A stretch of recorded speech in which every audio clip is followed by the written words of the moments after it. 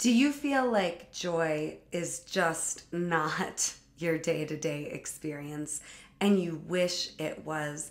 Are you looking for more joy? Are you ready for more joy? If you answered yes to any of this, you don't want to miss a beat of this episode. Okay, we're going. Okay.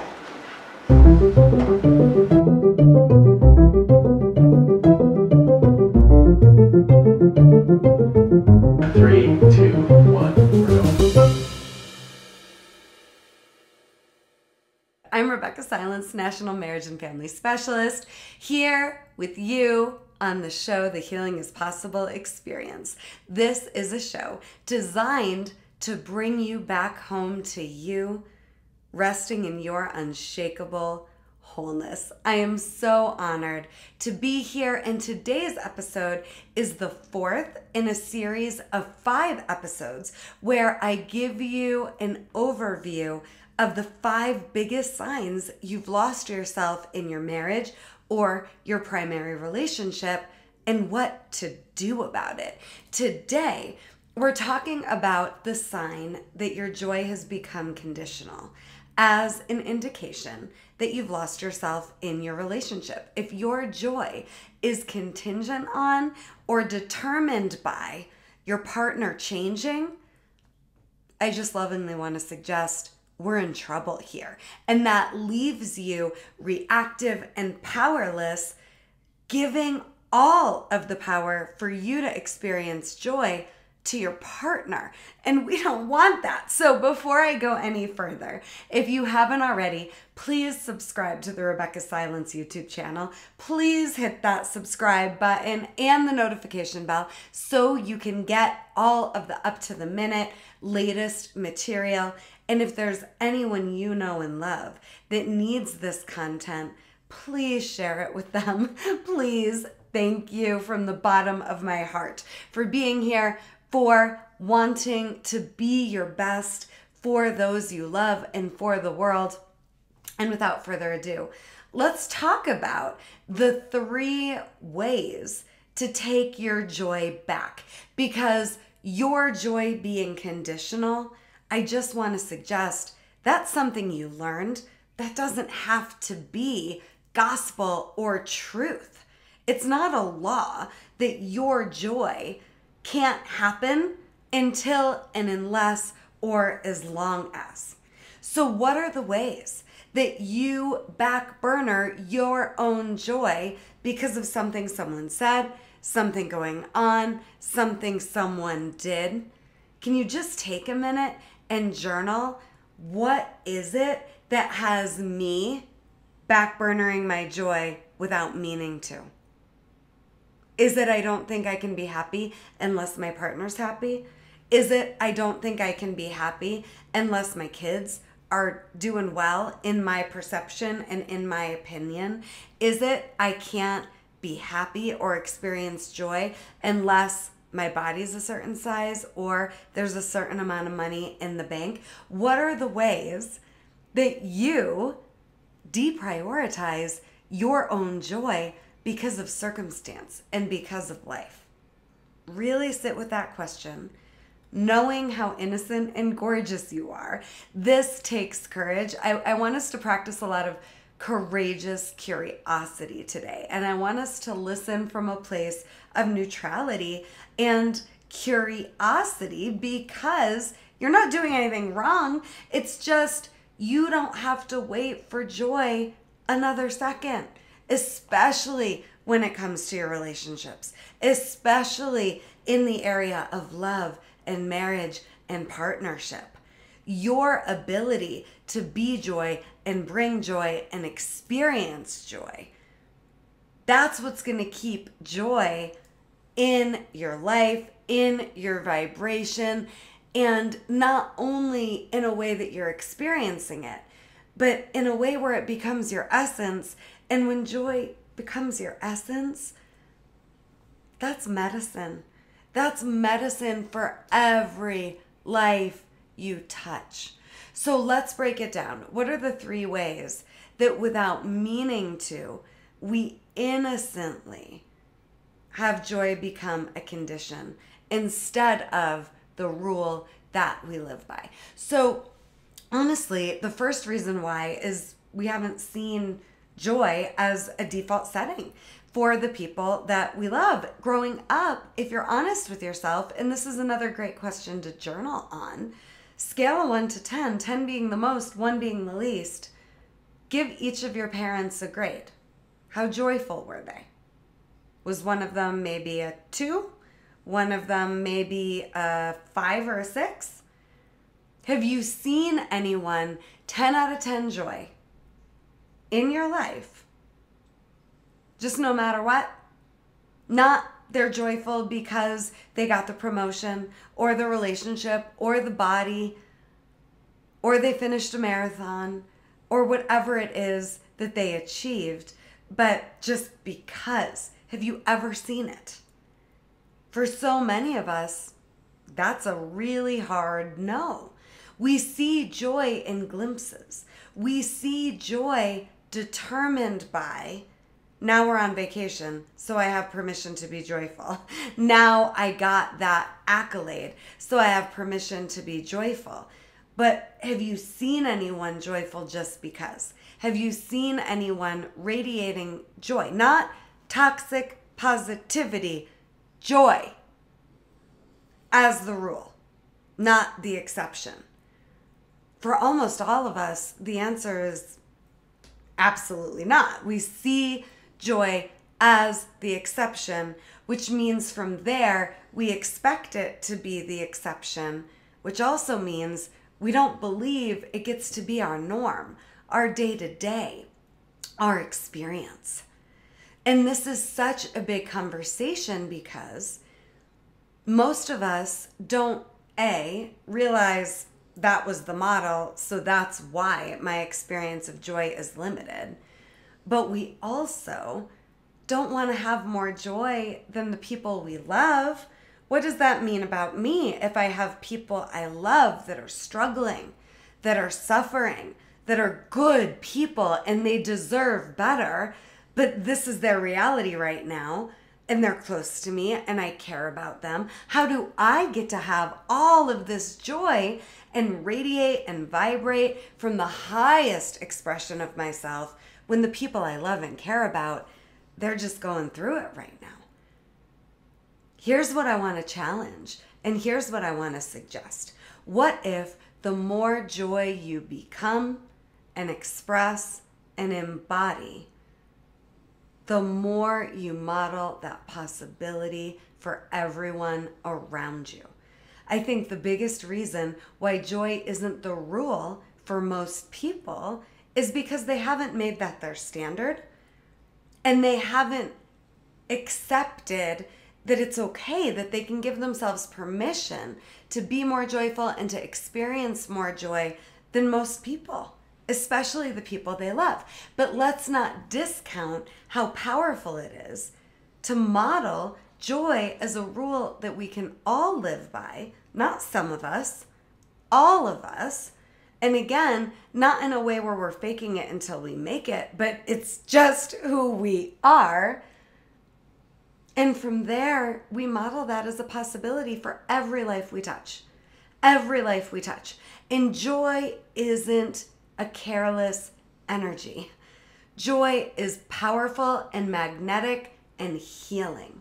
So, you being joyful, while sure it may be confronting to some, it's not doing any harm. And in fact, it's promoting wellness and well being and hope. The more you are joy, the more light you are radiating. And the more you're a lighthouse, as cliche as that sounds, we need you in your joy. And you don't have to be threatened and you don't have to fear that it means you care less. I think the more joyful you are, the more you care because you understand vibration and you understand energy and you understand that your vibration and your energy has a ripple. When you're rippling joy, it's medicine. When you're rippling, Paula, let me just say that part again.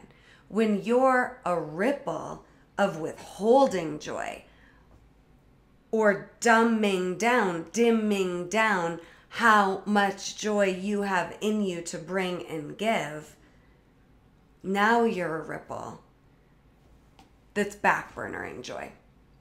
It's not a bad thing to be joy even when you have people you love that just aren't there yet. It's a wonderful gift and it's you an example and you being an example, it's your right. And we actually need you more joyful. Your family needs you. Your kids need you joyful. Your friends, your community, your customers, your clients, your team.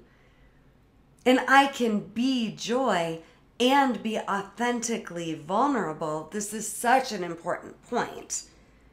What I mean by that is, I don't have to pretend like something hard didn't happen to be joy. I just get to be me no matter what. And that's the definition of joy I want to offer you. Joy is you being you no matter what, the best of you no matter what. And there's never a reason to not step into the best of you and your joy, ever. The second big point I have for us today is we're afraid of the darker emotions, which means we limit our ability to access and experience the lighter ones. Now, if you're new to me, I just teach five emotions. That's it. I think Brene Brown's Atlas of the Heart, as gorgeous as that book is, talks about more than 80 emotions. I'm going to give us five, and I'm going to suggest everything, everything, everything else is learned, and it's how we're coping. Okay? So, the five emotions I teach are anger, fear, grief, joy, excitement. If we have difficulty with anger, fear, and grief, we don't get access to joy and excitement. If we're trying to numb or protect ourselves from anger, fear, or grief, we don't get to have more joy or excitement. And for so many people, again, it's this unconscious belief and expectation that these darker emotions are something to avoid that has us unconsciously avoiding joy and excitement as well. So, for some of us, the darker emotions are the difficult place for us to go and to express and to release and to trust and to have a healthy relationship with. And that means our relationship to joy and excitement stays at the same level that our relationship to anger, grief, and fear are. The other piece of it is some of us just don't trust joy or excitement. You know, I know for me, excitement especially was a very difficult emotion growing up and even as an adult for many years because I thought if I'm excited, something bad is going to happen. I was so abused growing up, I thought the abuse was happening, particularly sexual abuse, because of this emotion called excitement. Now, of course, I didn't have the words for that, but that's unconsciously what I made up. And I didn't think you could have joy without excitement, so I didn't trust the light. And for many of you, that's a thing. We're not trusting the lighter emotion of joy. We think it comes with the other shoe dropping or something bad is going to happen. If I let myself have joy, what's going to happen next? Is a very real world that so many people are living in. And I just want to neutralize that today and suggest that you experiencing joy it's never going to hurt anyone. It's never going to threaten anything. And it's never going to mean now you have to brace for another shoe dropping. Life's being life. Whatever happened, it was already going to happen. It has nothing to do with how joyful you allow yourself to be. And I do think Joy is something we allow. Joy is something we are, but it's also something we allow. So, are you giving yourself permission to be joy? Are you giving yourself permission to allow joy? Those are the first two big pieces I want to address today. A great question to meditate on or journal about is if I allow joy into my life as the rule versus the exception, what would happen? How would that change my life? What would that look like? Let yourself go here. If I allow joy as the rule of my life, what kind of a life is that? Meditate on it, journal about it. The next piece of homework, if you're up for it, that I want to offer you is please read chapter two of my book. Please, if you want to understand more about how to navigate the darker emotions and how to allow yourself to receive more of the lighter emotions. In my book, Coming Back to Life A Roadmap to Healing from Pain to Create the Life You Want, chapter two, it's a gold mine, it's a treasure trove of information about how to have healthier relationships with all five of those emotions. And what I teach is that healing is freedom. And we're not free until and unless we have healthy relationships with all five of those emotions in a way where we don't need life to be different for us to be joy. Check out chapter two of the book. You won't regret it. Now, the third big point I have for us today. Notice how, so far, I'm really not talking about your partner at all, right? We started the show by saying joy has become a condition, and that has you feeling lost in your marriage. You can't have joy unless, until, conditionally, that can be how it was. That doesn't have to be how it continues. And what I want you to understand is that if your joy is conditional, just one more time, you've given your power away. And what today is about are the three ways to not just take your joy back, but to take your power back so that you can be joy. And that doesn't mean your partner isn't doing what they're doing. That doesn't mean that the disconnection isn't real or the bad behavior isn't real or the lack of congruence and flow and intimacy that you're looking for isn't there right now. But I want to empower you to try on what I'm sharing today before you just go kicking your partner to the curb because the pattern will, will, repeat. You'll still be experiencing conditional joy in your relationships. I promise. I don't want that for you. That's just how it works, right? So I'm not giving your partner a free pass today, but I am empowering and liberating you. Just because you haven't seen it before doesn't mean you can't become it. Just because you haven't known how to allow joy doesn't mean you can't start today.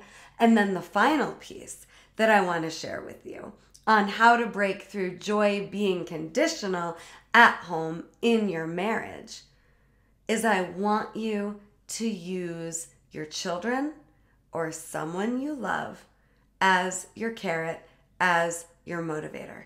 If you can't do it for you yet, do it for them. Maybe it's your own inner child.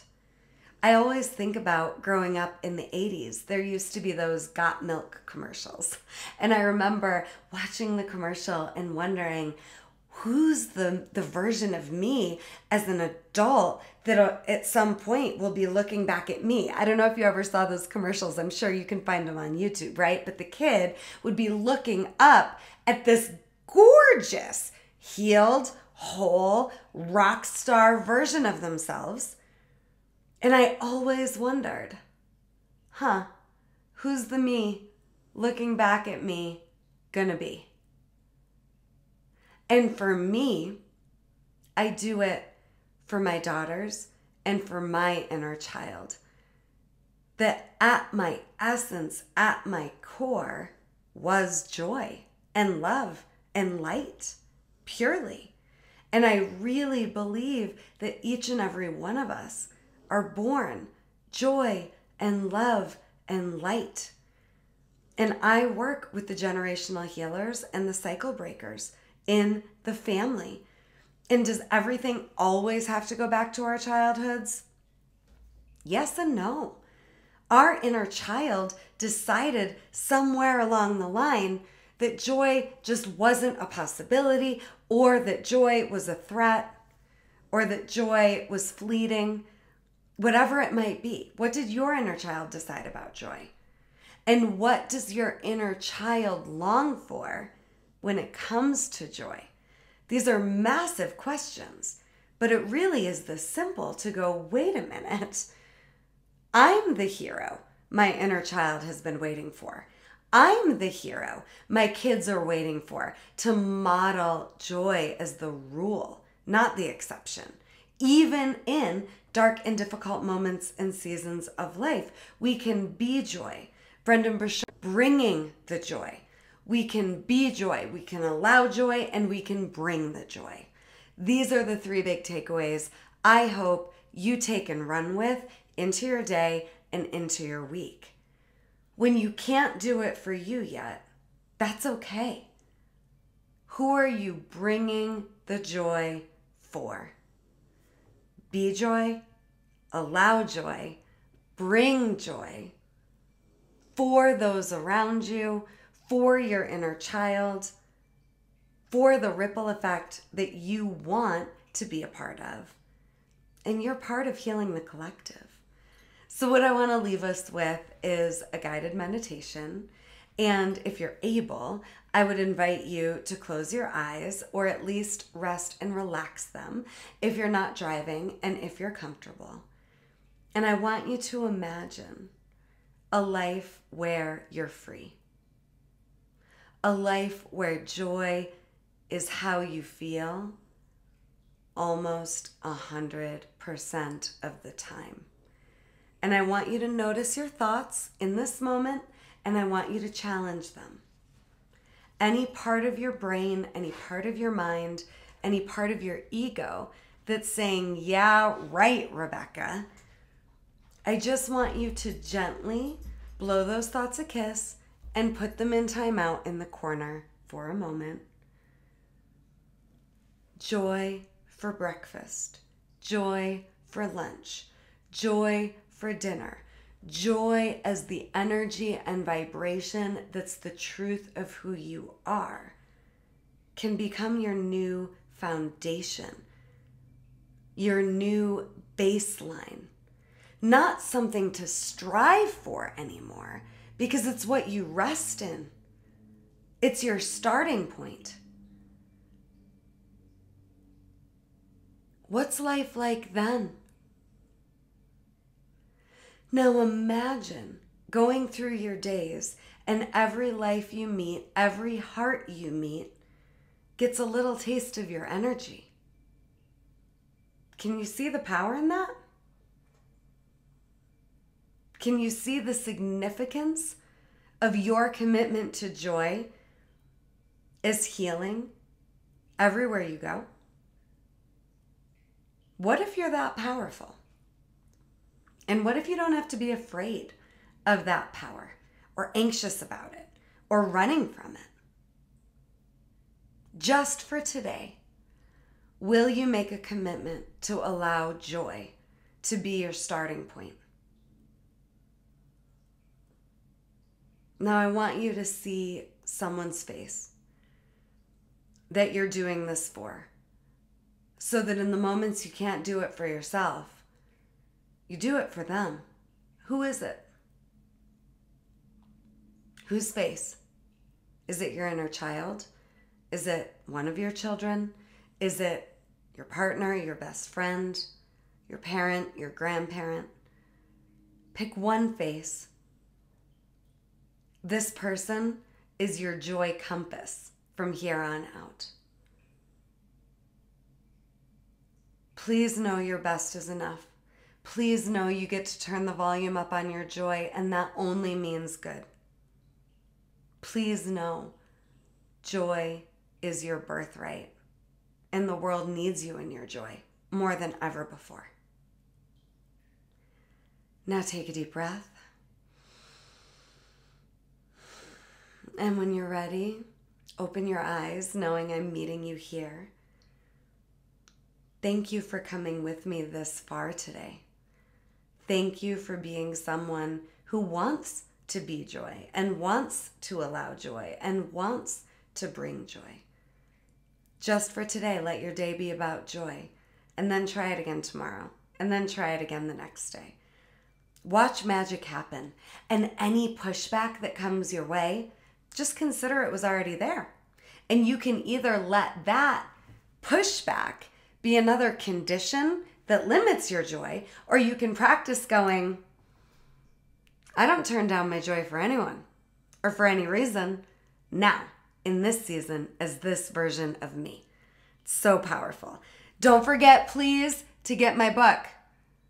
You can listen to it, you can read it, but chapter two, if nothing else, chapter two. And for more goodness and free resources, please visit RebeccahSilence.com. Thank you for being here. This is the Healing is Possible experience. I am your host, Rebeccah Silence. I love you. I want so much more joy for you, and I'll see you soon.